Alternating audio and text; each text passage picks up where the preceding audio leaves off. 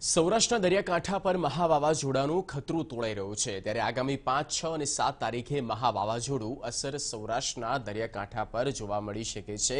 તેથી દરિયાકાંઠાના તમામ જિલ્લાઓને એલર્ટ પર રાખવામાં આવ્યા. મહા વાવાઝોડું દ્વારિકા, પોરબંદર, માધવપુર, દીવ સહિતના વિસ્તારમાં જોવા મળી શકે. આ વિસ્તારોમાં ભારેથી અતિ ભારે વરસાદની સંભાવનાઓ છે. તેમજ પિસ્તાલીસથી સિત્તેર કિલોમીટર પર કલાકની ઝડપે પવન ફૂંકાઈ શકે.